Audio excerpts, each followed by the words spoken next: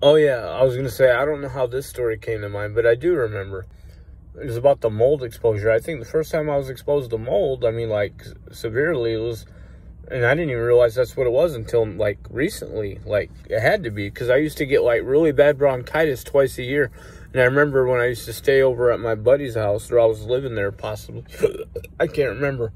Um, you know, that's when I used to get that bad cough, but that reminded me of like one of the first time when we first started drinking we hung out with like adults like 20 year olds people in their 20s we were like 10 11 12 years old and they'd get us drunk. We'd go to punk rock shows.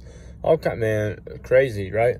One time we were at a casey's gas station. If you check the map in sioux city it was on like 33rd or something in country club boulevard and we're stopped at the gas station. I don't even know if they were open or closed but we all got out we're pissing right there, like in the parking lot or in the alley right beside the fucking building. And some guy pulls up and was like, What are you guys doing? Are you guys drinking? Are you kids fucking drunk? Or something. Tom's my buddy Tom. He's like, We gotta go. Let's run. Let's run. And we were supposed to act like we didn't know the dude that we were with because he was an adult. So we had to dip, like, and you know, like we don't even know him. You know what I'm saying? So we took off, right? Uh, his Tom's house where we were staying with his parents, fucking was on like 17th, a block from 17th and Floyd Boulevard.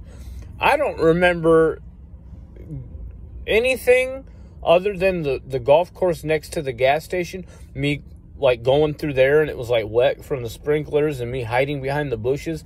Other than that, I don't remember. I was staggering drunk, like barely could walk. But I made it all the way to his house without getting arrested or anything happening. Don't remember any of how I got there though.